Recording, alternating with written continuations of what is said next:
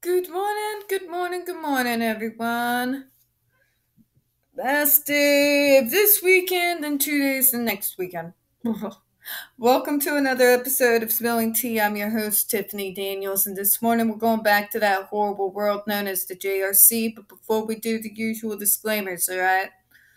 In the description box, you're going to see the link to the article that the JRC does not want you to read. It is written by Neuroclastic, a small non for profit started by autistics for autistics. It is an article in which they surveyed over 900 ABA professionals from all over the world in regards to the quote unquote behavioral treatment program at the JRC. And in fact, the JRC doesn't want you to read this article so much they have threatened Neuroclastic with a defamation lawsuit if they would not remove it from their website. Neuroclastic has refused. So let's give them some traction on this article. Read it and share it on all your social media. We also have their public statement regards to JRC's threat against them. And down at the bottom of the description box, we do have their GoFundMe. We are crowdfunding for their legal fees just in case the JRC has the balls to see through their threat. Please share that also on all your social media, and if you can donate, we'd deeply appreciate it. You also got the other pertinent links to the Stop the Shocks campaign, including Autistic Hoya's massive archive on the subject with over three decades of receipts to what these bastards do at this godforsaken school. You also have the templates, which are incredibly important right now JRC's lobbyists are working overtime, folks. They are earning their pay trying to get that ban removed from the current bill before it reaches the Senate. So please go to the templates, go to the rest of the website, get the phone numbers, all right? We also have the ever present self explanatory change.org shut the Judge Rotenberg Center down petition. When we talk about the JRC, folks, you're going to hear vivid descriptions of and catch clips of surveillance footage of people with disabilities being tortured and abused. If you got young children present, please use your headphones. Also, it is 7:36 a.m. in the morning. I am in autopilot. I am not here right now. B- please leave a message beep, all right? So if I stumble over my words, apologies in advance, all right? Okay, so we're going to go to where we left off yesterday, 72.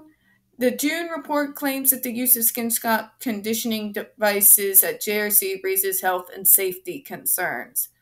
Well, yes. Any device that is made in order to cause harm, to hurt someone, raises health and safety concerns. But let's see what kind of fucking weird pretzel logic we're gonna have to deal with today, shall we? Fuck me. If the review team and NYSED is truly concerned for the health and well being of the students at the JRC, these concerns should have been reported to the JRC immediately during April and May visits, and not two months later in a report dated to June the 12th. Really? Okay, JRC. What do you think these unannounced visits are exactly? Tell me. What do you think these visits are? These visits are organized when a State Department has received numerous reports in regards to abuse and other concerns that have been brought up about a particular program. We can't just go running over there with no evidence, folks. That's my point. Raising concerns before we have gathered all the evidence and spoken with all the witnesses before we start conducting an unannounced investigation? Yeah, about that. There are laws and procedures that are put in place. They are slow moving, and it's fucking horrifying that they're slow moving. But yeah, as we like to say none of this works the way the JRC wants or thinks it's supposed to work. Okay? Unannounced visits, unannounced investigations. When we show up and you don't know about it, it is due to the concerns about the health and safety of the students and the validity of your fucking program. Us being there unannounced should indicate that. It's hardly our fault, JRC, if you're too fucking stupid to realize it. Moving on. If NYSED visitors had done so, the JRC would have addressed any legitimate safety issues promptly or cleared any misunderstandings. Aha! Uh-huh, you see that there? You see what I'm meaning? They don't fucking actually care. They're not calling NYSED out. Not really. What they're doing is once again complaining about the fact that they didn't have the chance to manipulate the investigators. To have them see what the JRC wanted them to see. Do not look at the man behind the curtain. Know what I mean? JRC continues to misunderstand what these unannounced visits are, what their intentions are, what our goals are. They keep acting like they're the, some fucking victim being bullied by the rest of the world who just doesn't understand, and it falls on deaf ears if you just listen to their defenses. Anyone with two brain cells could pick this report apart the same as I have. They rant and rave. We weren't told, we weren't asked. Exactly. You're not told. You're not asked. By the time my ass and my team was in that particular program, that time is over with. We're not going to ask. We don't want you to clear anything up because you may be lying to cover your ass. We want to see with our own eyes. Okay? Not the words coming out of your mouth. Not your bullshit paperwork, which we all know you have a history of fabricating and withholding at will. That's what these visits are. And they continue throughout the entirety of this report to try to misconstrue what these visits are. But moving on. JRC has issued GED and GED 4 skin shock devices on hundreds of students over the last 17 years without any health or safety issues. Really? Explain the DESE reports. You had within a two year period back in the 90s over five kids in the fucking ER. Doctor's visits, people losing sensation in limbs. They're lying to you and they're doing it blatantly.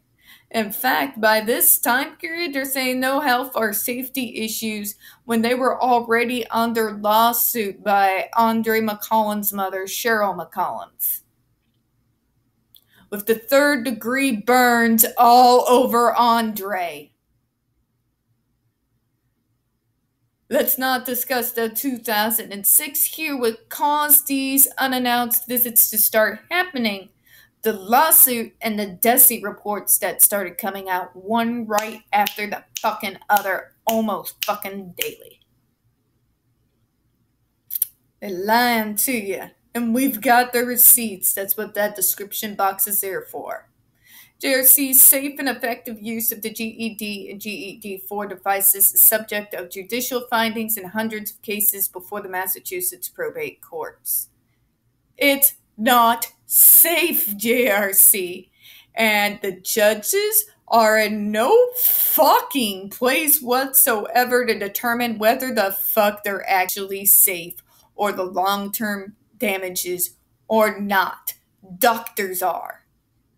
I've said it again. It is completely batshit insane that you have judges declaring that it's alright to use a fucking shock device on a child designed to hurt them. That it's okay to deprive them of food, of sleep, of having staff jump out and threaten them, behavioral lesson or not. It is insane to any logical human being out there. You continue to throw the courts in our face like that is somehow going to make us believe, well, if the court says it's okay. You know, the Court of Appeals exists for a reason, right? Because the courts aren't always right. For fuck's sake, JRC, you're from goddamn Massachusetts. If anybody should know that what the courts decide is not always right. It should be you. For God's sakes, have you seen your history? Have you seen your history? The hell is the matter with you? But the courts have found it safe. Have the courts sent independent investigators to inspect without your bullshit your treatment program.